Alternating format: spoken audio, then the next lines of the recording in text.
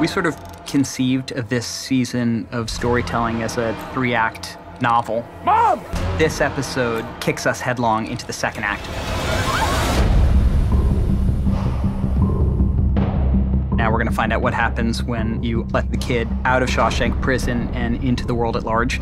Eagle eyed King fans may recognize the name of the guy on the video the kid watches in the prison right before he's released. He says, I'm Lou Hadley.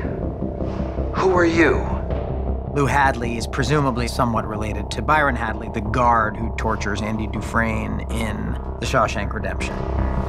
We both have been in various parts of the country where wildfires are a significant part of everyday life. We were all really struck tuning on the news at night by these images of cars crawling down the freeway and an apocalyptic inferno on all sides. Whether it's a place like California or Castle Rock, there's something very unsettling about these giant wildfires, especially on the day the kid has gotten out of Shawshank.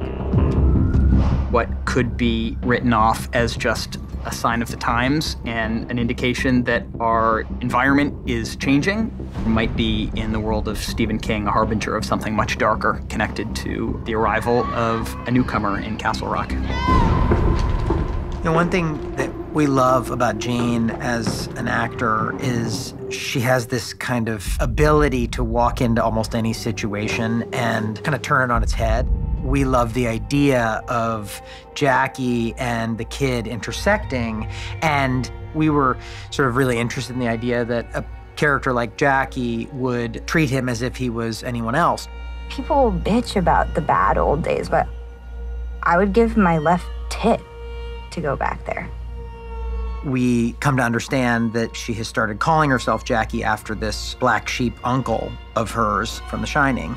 Essentially, we're, we're taking a young woman who has always wanted to find herself in the middle of a Stephen King uh, story. We're going to find out over the course of the next few episodes. Um, one might be careful what one wishes for.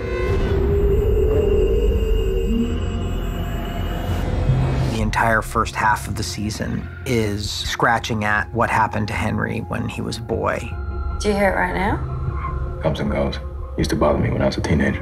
You start to get the sense that there may be some connection between this condition that he has and some of the strange events of the past. And that's something that we're going to continue to explore.